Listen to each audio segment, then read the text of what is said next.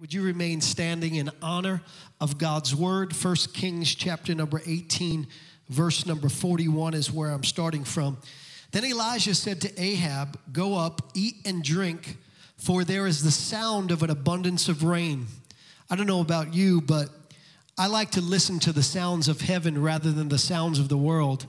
And when you tune your ear into heaven, you hear of better things and you hear of a better tomorrow and a brighter tomorrow. And I want to encourage you not to listen to the news as your forecaster of what's going to happen in your life and in our world, but I want to encourage you to listen to what God says because God is the one who has the final say. Amen. It doesn't really matter what happens around us when we live in relationship with the Lord. God can bless us in any season of life. Moreover, God wants to bless us in down seasons of life so that we can be a blessing and show people the love of the Father. So he said, Go up, eat and drink, for there is the sound of an abundance of rain. So Ahab went up to eat and drink. And Elijah went up to the top of Carmel, and there he bowed down on the ground and he put his face between his knees and said to his servant, Go up, look now toward the sea. So he went up and looked and said, There is nothing. And seven times he said, Go again. And then it came to pass the seventh time that he said, There is a cloud there is a cloud. There is a cloud. There is a cloud. Remember that. As small as a man's hand rising out of the sea. And so he said, Go up, say to Ahab, prepare your chariot and go down before the rain stops you. Now it happened in the meantime that the sky became black with clouds and wind, and there was a heavy rain.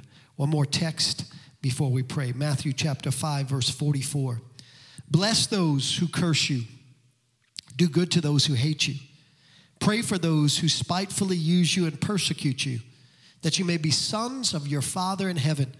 For he makes his sun rise on the evil and on the good, and sends rain on the just and the unjust. Today, in our series, Alternate Universe, and on this special offering weekend, I want to minister to you on a subject that God laid on my heart. I'm calling it Everyone Needs a Cloud. Everyone needs a cloud. You say, Pastor, I don't need no cloud in my life. Trust me, everyone needs a cloud. Let's pray. Father, in the name of Jesus, by your might, by your power, by your Holy Spirit, would you minister to the hearts and lives of every person? Today, I pray that they would leave here closer to you and in a personal relationship with Jesus Christ like never before. In Jesus' name, I pray. And everybody said, You may be seated. I want to set up our two texts by sharing with you perhaps a new perspective on clouds. When we think of clouds, we think of gloominess and we think of depression. We think of the current climate of doom and gloom. We think of pandemics and shutdowns and economic uncertainty. Clouds are often symbols that are ominous in our lives. Moreover, nobody gets excited about a cloudy day, and everybody loves a sunny day. We even have medical classifications for the negative effects that cloudy days have on the human psyche as opposed to um, sunny days. And when we talk about a beautiful day, we often talk about the day in relation to how much sun there was and how much of the beautiful sky that we can see. But contrary to our common conclusions about clouds, the scripture uses the imagery of clouds to represent the presence of God and his redemptive plan. Not the ominous, but rather the omnipotence and rather the omniscience and rather the omnipresence of our good, good Heavenly Father. The first place that we see this type of symbolism in Scripture of clouds is in the story of the flood. In Genesis chapter 9, we find that God promises to put a rainbow in the clouds as a sign of his covenant of mercy, that he will never destroy the earth again by flood. And this is uh, very closely akin to what we see in the book of Revelation, where around the throne of God, the throne of mercy, the Bible says there is a rainbow. And so the rainbow is a covenant of God's mercy toward mankind. How many of you know we all need God's mercy? Thank God his, his mercy is new every morning, and great is his faithfulness. I don't know about you, but every day I get up, I say, Thank you, Lord, for your mercy, because if God just did me like I deserve to be done, I'd become undone. I'm glad that God is a merciful God. How many of you know everybody needs a cloud like that in their lives? Clouds were also prominent in how God led the children of Israel through the wilderness. The pillar of cloud by which he led them through the wilderness was a symbol to them of God's presence and protection. The cloud shielded them from the blistering sun and it also kept them hidden from their enemies. How many of you know everybody needs God's protection and provision in their life? Everybody needs a cloud.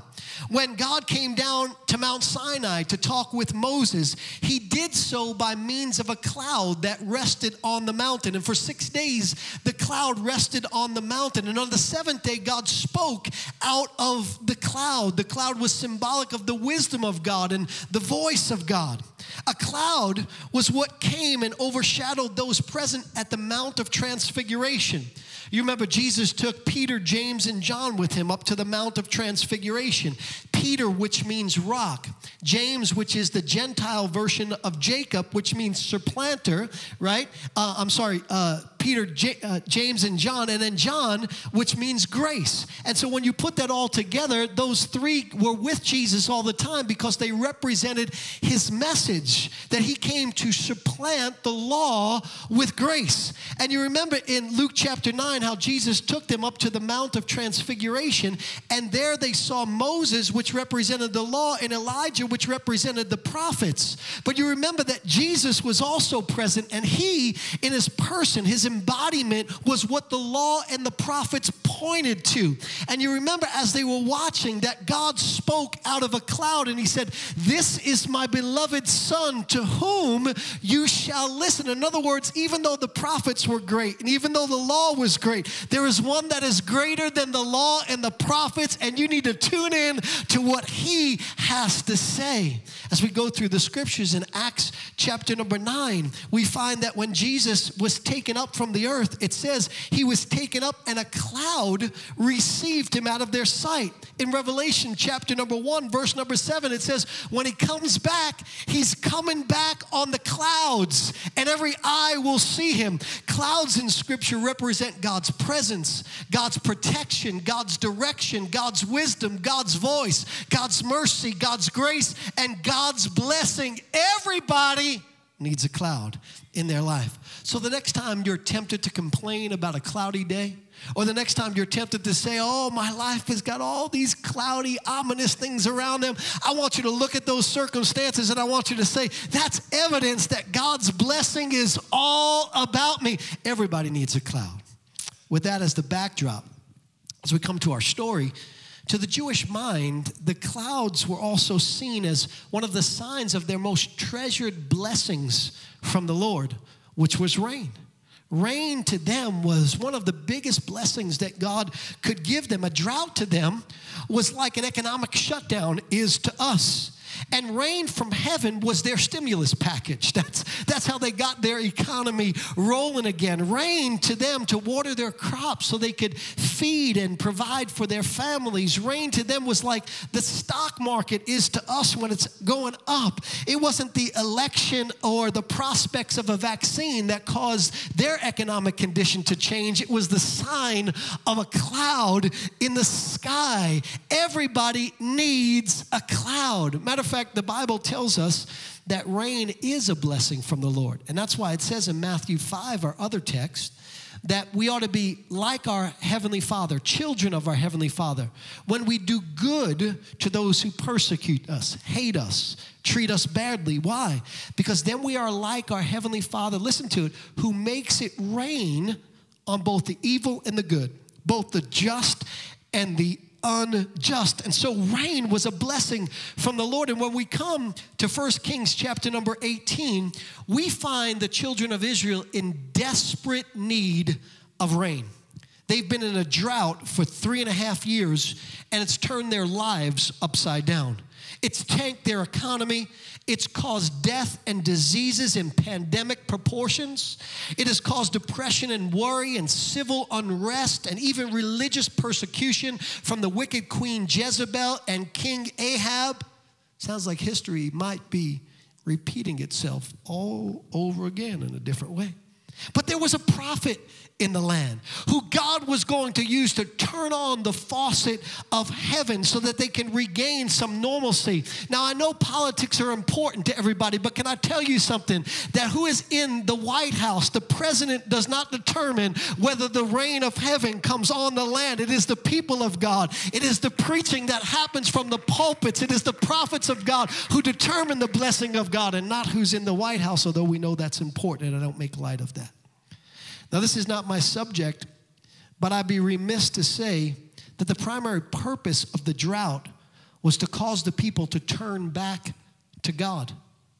That the whole reason why they went through three and a half years of struggle was so they can turn their hearts that had strayed back to the Lord. And I want to remind you that turbulent times are a call for us to turn our hearts back to the God that we have strayed from so that his blessings can flow in our lives. So Elijah is getting ready to be used by God to turn on the faucet of heaven for them to receive the rain, which would change everything in their lives. And he's going to get ready to call down rain just like he called down fire from heaven when he had the showdown with the prophets of Baal. And if you read the story, you know that calling down fire came before calling down rain.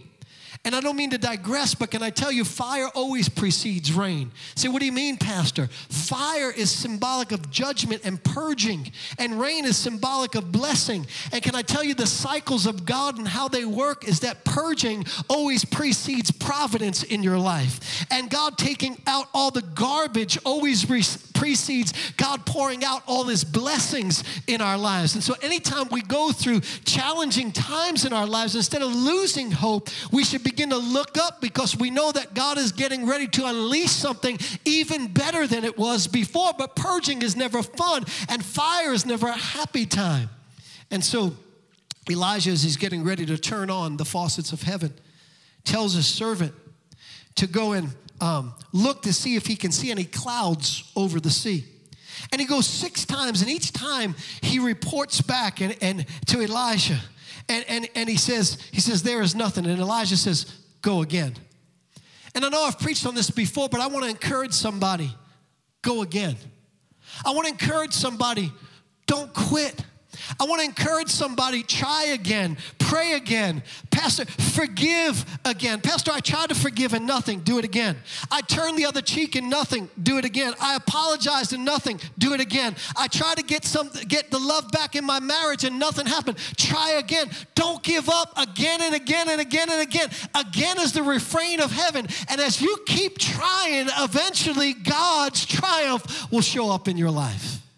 So he keeps sending him again. Six times he goes and he reports back. Six times Elijah says, Go again.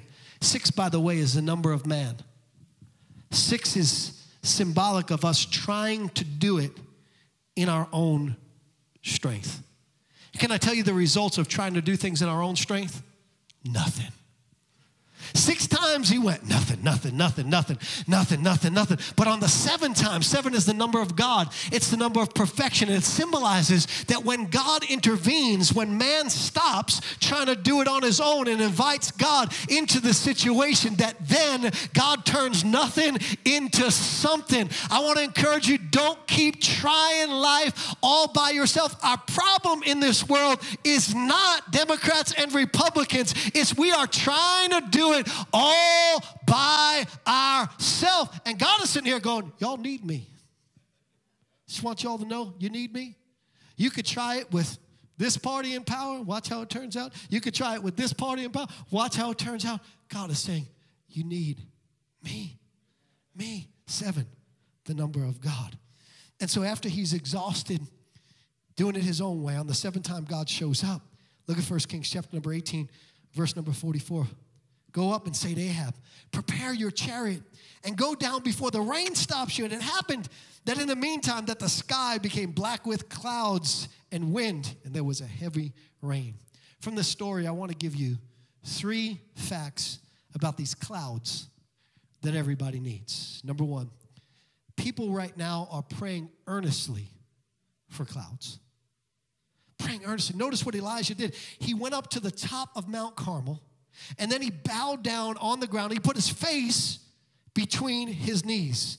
Very literally, this is the birthing position. And ladies who have given birth, you know that if your face while you're giving birth ever gets up between your knees, that you are pushing with everything that you got. And here is the description, and here is the type and the symbolism that God is saying. Right now, people are praying desperately for God to show up, desperately for a blessing to come their way, desperately. Some people need it so they can put food on their table. That lies in the balance. Other people paying their rent or their mortgage lies in the balance. The health of their loved one lies in the balance. Their sanity lies in the balance. Their, the survival of their business lies, lies in the balance. People are praying earnestly right now for a cloud to show up in their lives.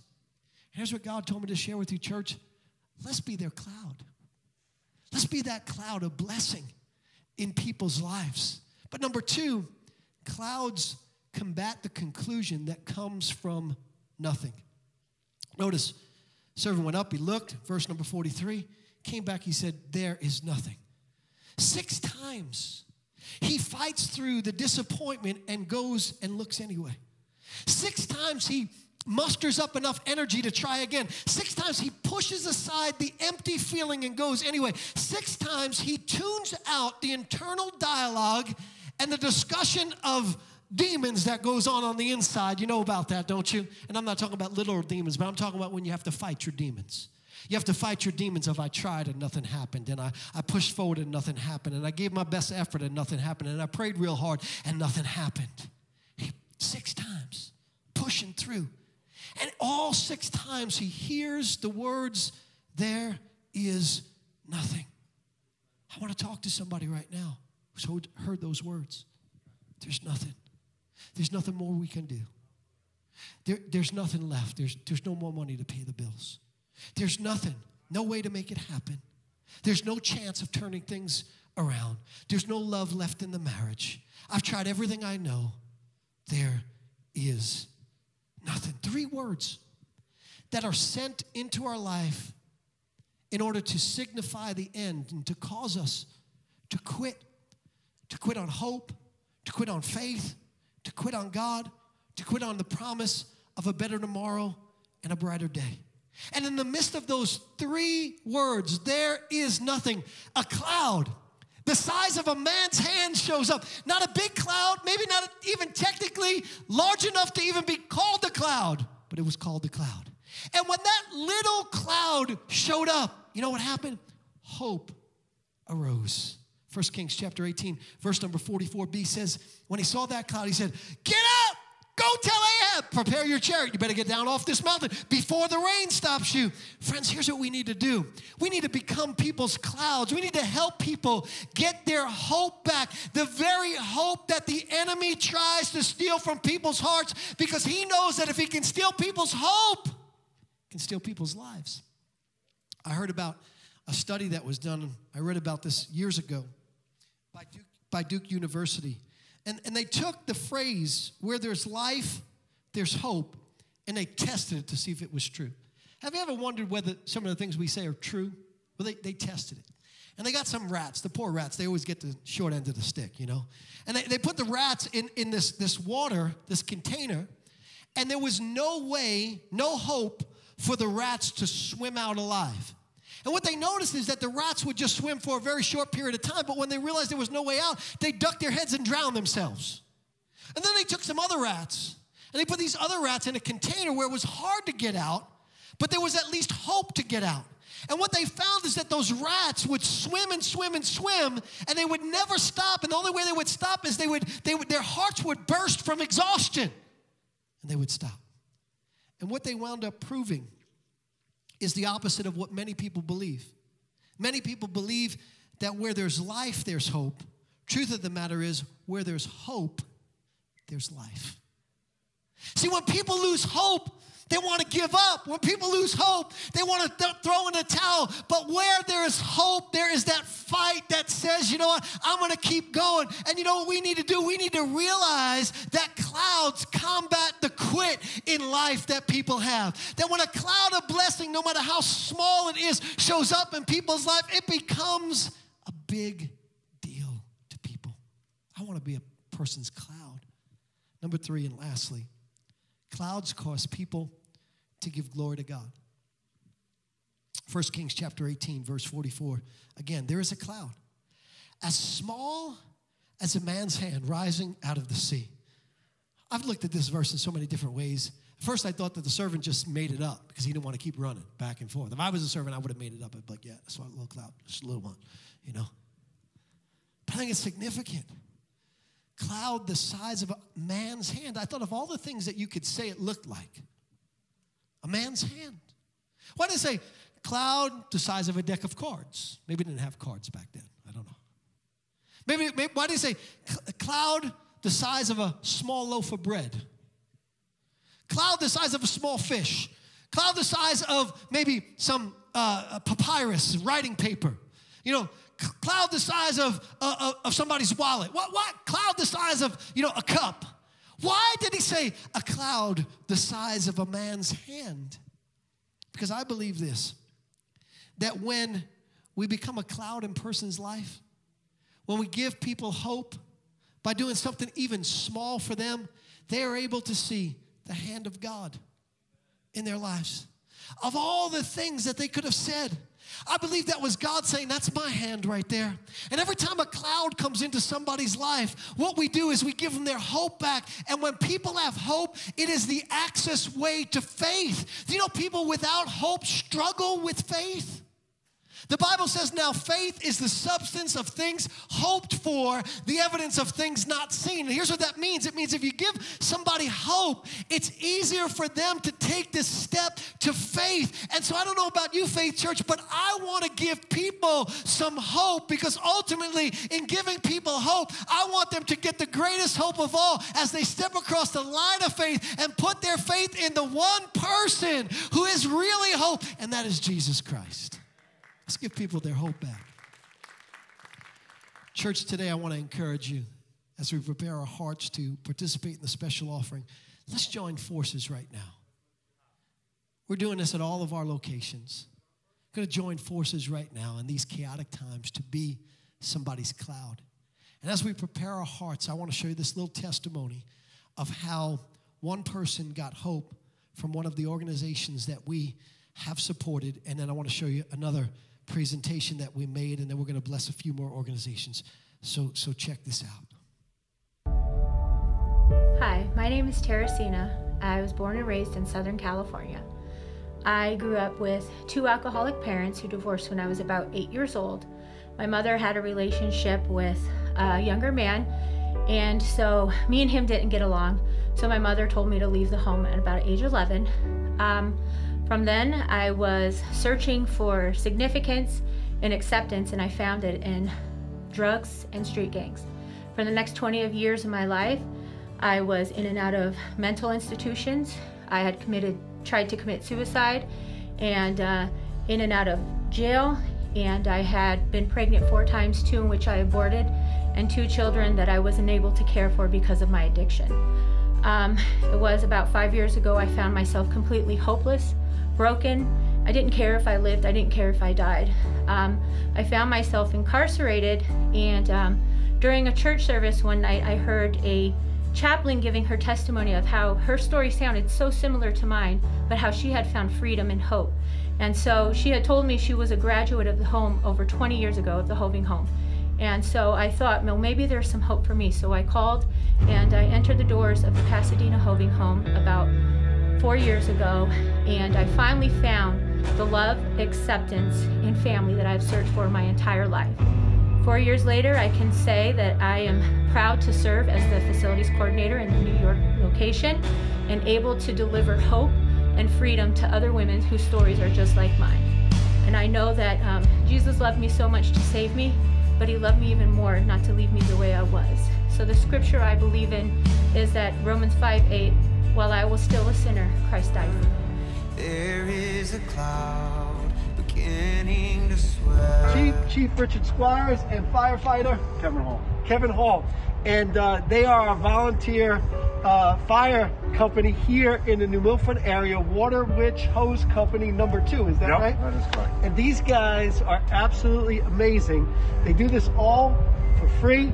They watch over us. They're, they they keep us safe, and uh, they also spread joy in the community, especially during this time. You do the Santa trade the sleigh for the ride on the fire truck, Yep.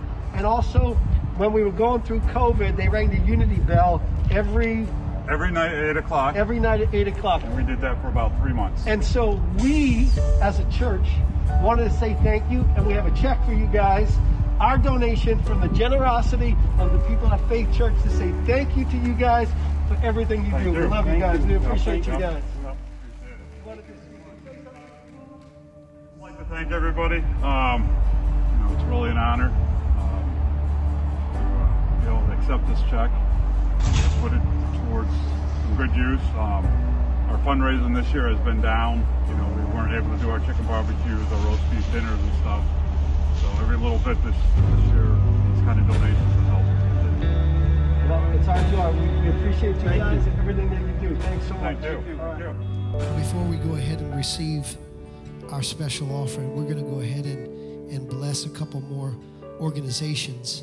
Um, the first organization that I'd like us to bless is the police department here locally. Amen. Our men and women in blue who serve us so faithfully, we have a great police department here. During these tumultuous times, they have been bridge builders. Um, the chief is a wonderful man who has felt the sensitivities of the community and been a bridge builder. And uh, there are so many of our men and women in blue who suffer some things on the job that we don't know about. A lot of times there's losses. Um, a lot of times um, they go home. Sometimes they don't go home. And they're left with families and kids, medical issues, PTSD, things like that. And um, so we wanted to um, bless our police department. So I'd like to call up um, Police Union Treasurer Mark Lynch, um, Police Department Canine Officer Mark Williams, and Captain Al Wisconsin. Uh, Will, Will Coxon, I think I got that right. Yes? Not Wisconsin, that's Green Bay Packers. Would you all come up and on behalf of Faith Church, I would love to present you with this check. Come on, give it up for our police officers. We love these guys. Treasurer gets it. This is our check for $5,000 for you guys just to say thank you for all you do. We pray that you'll use it to help some officers and their families in need. Thank you so much, gentlemen. I don't know if you all shake or don't shake or fist pump or whatever. There you go. God bless you all. One of you want to say anything? Or no, you don't have to yet. Well, first off, uh, this is tremendous. We were not expecting this. Um, thank you, Pastor. Thank you, Pastor Rich. Thank you, Pastor Al. Thank you to everybody that gives. The New Milford Police Union, our motto is committed to our community. The most important word in that sentence to us is our. New Milford is our town. We want to improve it, we want to support it, we want to make it better every day. We are here for everybody. And today we feel also that our community is committed to us, and we appreciate that. Thank you. Thank you so much, gentlemen. We appreciate you. We love you.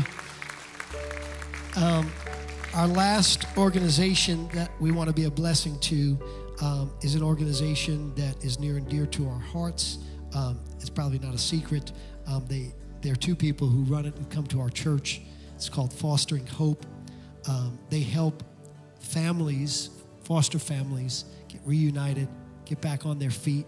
Um, they've helped over 600 families since their inception. Um, it's run by Mike and Rachel Doyle. Um, over Christmas time, they do, I think it's called Breakfast with Santa. Is that right? Do you play Santa, Mike?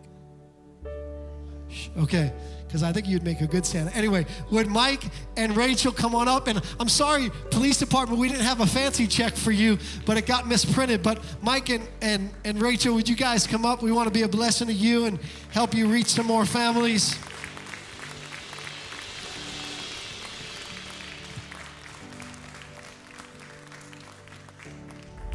Rachel and Mike, on behalf of the generosity of your church family, we want to present you with this check for $5,000 to help you guys be a blessing to more foster families. Love you, brother. Love you. Um, thank you so much. Um, as Pastor Frank was speaking, the message was about hope and that is in our name. We go in and we deliver hope to people who have overcome addictions, who have come overcome mental illness, who have gotten their children back. We help um, foster youth have aged out of the system. We help get them homes, and we just spread the love and hope of Jesus into the foster care system. So thank you so much. We will use this, and we'll spread more hope. Love you guys. By the way, I think they have 17 kids here with them tonight. Uh, Did you bring all 17 tonight? Only nine tonight. Okay. That's 17 kids in their house at one time. I mean, that's crazy. I gotta, I gotta be honest with you. There's something wrong with the two of you. I promise you that. Anyway, church, it is our time to go ahead and give in our special offering. And as you can see, we're going to continue to be a blessing to our community. I really believe with all my heart that God has blessed us, equipped us, positioned us to give people hope, especially now.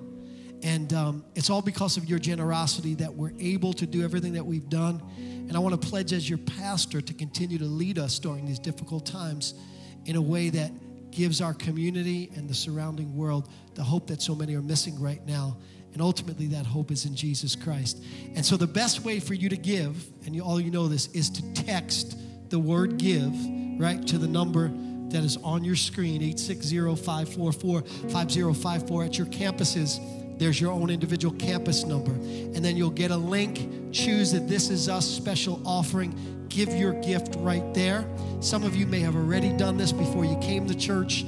Some of you may do it when you leave church. If you can do it now, do it now. If you want to give the old fashioned way, the good old old fashioned way, there are envelopes on the back of your chairs. You can choose the line that says, This is us, and you can put that offering in the buckets on your way out at the doors with your regular tithes and offerings. I want to say how proud I am of every single one of you and of this church. And I really mean that. I know you're probably maybe a little sick of hearing me saying it. You guys are one of a kind. I'm telling you, you're one of a kind. I talk to a lot of pastors, and there aren't a lot of churches right now. We pray that there will be more that are doing as well as we are. And the reason is because of the faithfulness of people like you. So I love you with all my heart. Let's go ahead and pray over this offering, and we're going to uh, worship the Lord and dismiss. Father, thank you for the generosity of your people. Thank you, Lord, that as you've been a blessing to us, and you've shown us the joy of being a blessing to others. And we pray that you would receive this offering, put your hand on it, guide it, lead it. Father, let it bring hope and healing to many people. But most of all, let it help for the good news of the gospel of Jesus Christ to be preached in our communities. In Jesus' name we pray, and everybody said, Amen. Thanks so much for watching, but don't just stop there. Click the Watch Live button in the description below to join us for Faith Church Online every Sunday morning. And while you're there, you can set a reminder to come back Sundays at 9 and 11. If you'd also like to learn more about getting involved here at Faith Church, you can click the Connect button. And be sure to subscribe to this channel so that you don't miss a single video and maybe even share it with a friend. Thank you again for watching, and as always, remember with Jesus, you are destined to win.